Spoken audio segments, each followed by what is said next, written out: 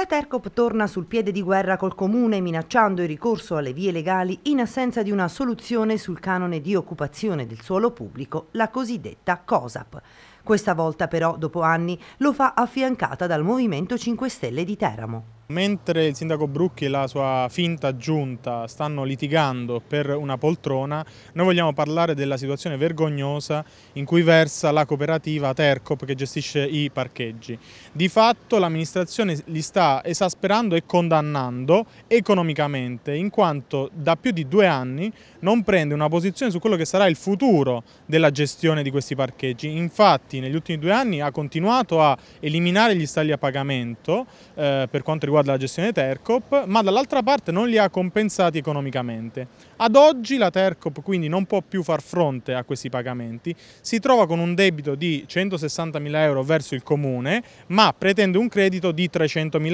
euro eh, a causa di questa cattiva gestione. Eh, ovviamente noi eh, sappiamo e diciamo che questa situazione testimonia il fallimento politico della giunta comunale che da più di due anni non è riuscita a portare a casa l'approvazione del piano urbano del traffico, anzi stato, ci sono state le dimissioni dell'assessore competente di Giovan Giacomo e queste persone non sanno cosa fare, non hanno un futuro. Noi pretendiamo una presa di posizione chiara su quello che sarà il futuro della gestione parcheggi, pretendiamo che ci sia immediatamente un bando pubblico che sia o sulla proposta della eh, Tercop o su qualsiasi altra proposta che vorrà fare l'amministrazione, ma ci dobbiamo muovere perché queste persone non possono morire economicamente e non possono perdere il posto di lavoro che è tanto caro al sindaco Brucchi.